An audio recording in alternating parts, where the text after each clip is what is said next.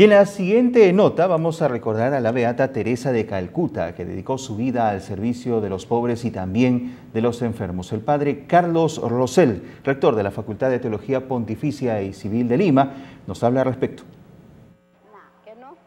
Tras el anuncio oficial del Vaticano que la Madre Teresa de Calcuta será declarada santa, el sacerdote Carlos Rosell de Almeida reflexionó sobre la vida de la religiosa. Atnea Gonzá, conocida como Madre Teresa de Calcuta, nació en Albania el 26 de agosto de 1910.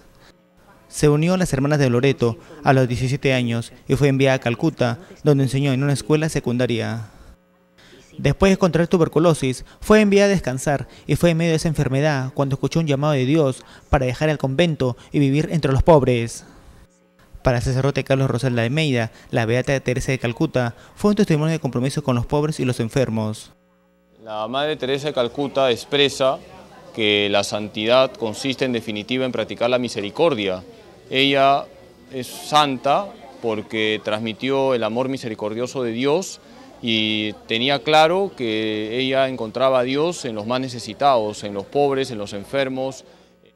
En otro momento, el también director de Estudios Teológicos de la Facultad de Teología Pontificia Civil de Lima dijo que la Beata será siempre recordada por lo que hizo y que está registrada en el corazón de los fieles.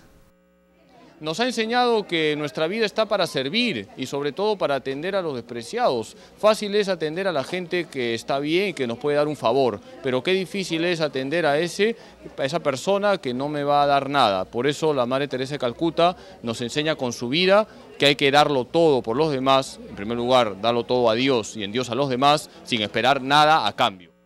Cabe indicar que la madre Teresa de Calcuta murió el 5 de septiembre de 1997 y fue beatificada solo seis años más tarde por San Juan Pablo II el 19 de octubre de 2003.